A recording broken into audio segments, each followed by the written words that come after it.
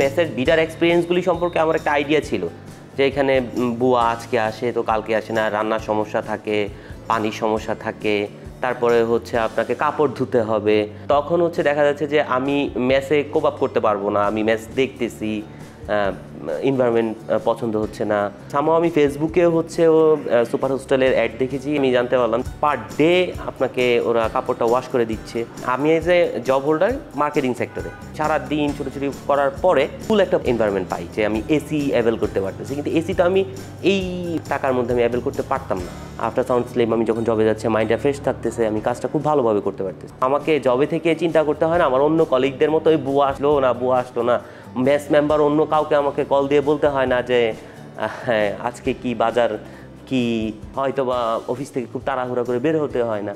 আমি নিশ্চিন্ত মনে আসি খাওয়া দাওয়া করি, আবার চলে যাই।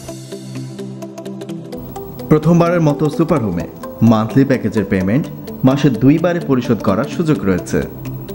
যেখানে থাকা খাওয়া সহ তিরিশটিরও বেশি সুবিধা পাচ্ছেন সকল প্যাকেজের মধ্যে।